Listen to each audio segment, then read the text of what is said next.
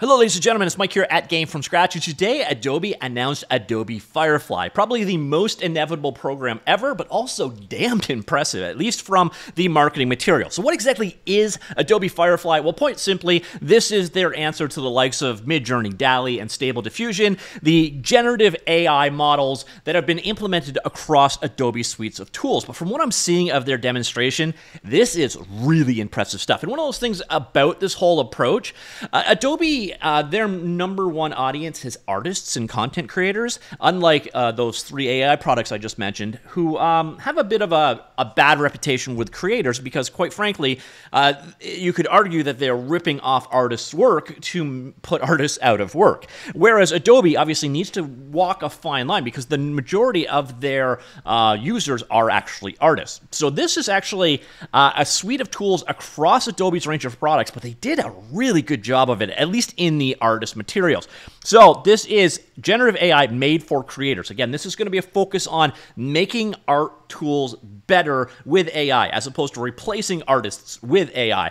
Uh, and you can see some of the examples here are just really impressive. So here you can see them filling in some white space on a project or making uh, tweaks to an existing uh, design. You can do variations here. And again, when they scale up here and then there's this basic filled in spot, using an AI text prompt to fill it in. So this is supplements of tools, and that, if it actually works like this, that is super impressive. So this would obviously be an extension to Photoshop, but it doesn't end there. We've got tools basically here for uh, creating brushes and vectors. So imagine generating custom vector brushes and textures, just a few words or even with a sketch. Plan to build this into Firefly, uh, plus the ability to edit what you create using the tools you already know and love. So again, if you're working in, say, Adobe Illustrator and you need to create custom vector brushes, here you're seeing that work in action. And again, this is supplemental tools. So this isn't, you know, doing the artist work for you. It's for creating variations of work you already did. So if you want to modify a font, for example, a vector-based font,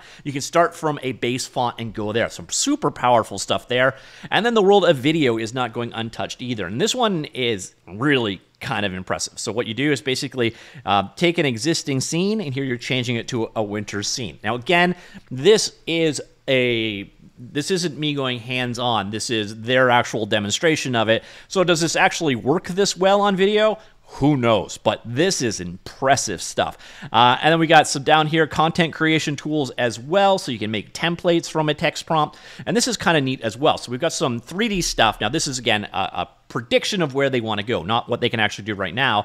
In the future, we hope to enable Firefly to do amazing work with 3D, like turning simple 3D compositions into uh, photorealistic images and quickly creating new styles and variations of 3D objects. Again, the key wording here to be aware of is in the future. So we don't actually know how much of this stuff actually works. It is a beta. See if you can get into the beta or not. I'm not in it as of right now, but here you can see a couple of um, generative results from, you know, letter N made from green and red moss, and from gold and intricate ornate, and N made of red particles. And the key part here again, where they're going to be really different from the likes of DALL-E, Midjourney, and so on. First off, they're a tool company, so this is using AI to make their tools better, but obviously they need to cater to the creators.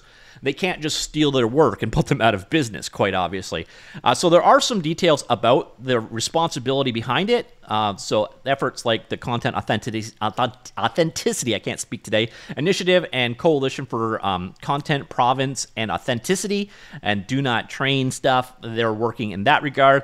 Uh, again, more tools about where they're working and where they're going with this. It's pretty amazing. So here you can see using simple brushstrokes to change a photo by adding glasses to somebody, applying your own, your own trained style uh, to things. Um, and then here, natural photo mixing. Uh, so that is the basis of it. You can get a lot more of the facts about it down here, the FAQ. Uh, the ethics question is definitely the important part, uh, how they train their um, stuff available in a blog post kind of talk about you know the, the, the model behind this. This is the big question that you have with products like DALL-E and so on is where did they train their data set from? Did they, you know are they ripping off other people's works? Well, they talk about that quite strictly here at uh, with the Firefly Initiative. So I'll show you some resources if you want to learn more about how they actually train their model. Um, but yeah, so this again is kind of a repeat of what we saw earlier on. Uh, some of this is Adobe Sensei Gen AI. It seems to be the most uh, traditional-ish like version of what we've seen here. But here you can see again a lot of um, breakdowns of how they trained their model, uh, what you could do, what you'll be able to do going forward, um, and so on. So if you're working and wondering about the ethical ramifications of AI for artist tools, that seems to be a really strong focus that Adobe is going for. And once again, they have to because their number one audience is actually artists. And, and you can put your head in the sand all you want.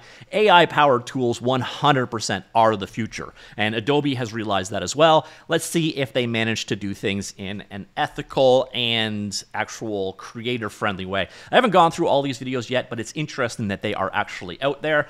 Uh, we've also got some uh, demonstrations of what you can actually generate using Adobe Firefly. So here are some uh, text effects that are generated um, using text prompts. A video you can walk through, see the various different examples uh, in here of basically turning letters and making custom styles on them. Here you've got your traditional image generation. You know, this is your uh, DALL-E uh, Midjourney um, slash uh, stable diffusion type approach to just text to image. Uh, here you can see some of the results of what they've worked with. So if you want to go through here and check out uh, their kind of results of their AI, this is the traditional AI stuff that we've seen as of late. Probably one of the more interesting things here, and this would be for your Adobe Illustrator type people, is recoloring of vectors. So you can take your own uh, existing vector art and have it recolor it based off text prompts you give. Uh, so yeah, you can see a, a, lot of details of what this is all about. Another cool things we've got here are in painting tools. Uh, they show them really well in the video. Another neat one they've got is 3D uh, to image. Basically, you're using uh, simple primitives uh, to model a 3D scene, and then you use a description, and it takes your basic 3D scene and creates an image out of it. Uh, image extension, we saw this sort of earlier on where they, well, this one's a little bit different. So this changes the aspect ratio of an image with a single click. Uh, you can turn a um, text to a pattern, so tiling effects right there. Uh, text to templating. Uh, you can turn a sketch into an image. So again, a lot more um, you know artist-driven tools going on here uh, and so So some really cool tools going here. It looks like it's going to be pretty much across their suite of tools. Uh, here you can see um, kind of a, a, video demonstration of some of what Firefly is all about. Uh, so you've got various different content, right? So you create it in photo or a drawings type. You can automatically fill in a photo based off what you've got. Again, you've got in painting tools like we were seeing in action right here, where they turn him from having a shirt on uh, to a red coat. Again, this could be entirely smoke and mirrors and completely BS, but like, because this one, these kind of prompt tools are those are really impressive. I just don't know if they really exist yet, but I can't see them uh, advertising this kind of stuff and then not actually following through to a certain degree. Um, but here you can see again using simple shapes to, to feed an image that you're creating from it. Uh, I would highly recommend walk, walking through this entire video because it does show you kind of where they're going, what kind of tooling and functionality is in this guy. And yeah, that is it. So this, ladies and gentlemen, is Adobe, uh, what is it called again? Firefly? Yeah, Adobe Firefly. Uh, so this is a suite of generative AI models that are coming to Adobe products. Um, if you are an Adobe Creative Cloud user right now, uh, this seems to be Adobe's answer to artificial intelligence. Once again, if you are interested, they uh, do go into detail about uh, you know how they ethically train their models. And again, you probably want to read it to figure out exactly how it goes. But you can see here. Um, there are some details about where the data actually comes from. Uh, so here you can see this is trained from a data set of Adobe stock, which kind of makes sense, uh, along with openly licensed work and public domain content where copyright has expired. So they're not training this off of uh, your art specifically. Like they're, they're not training it off of you know Deviant Art or other places online. Uh, this seems to be the sources of the art for this thing. And uh, it's nice to see at least that they are um, conscientious of this because it seems to be the biggest problem for these kind of tools is the, the morality and legality of it. Um, and again, Adobe has to skate a line that those other tools don't because the majority of their audience really care about this stuff. So that is Adobe Firefly. Let me know what you think. Comments down below. Talk to you all later. Goodbye.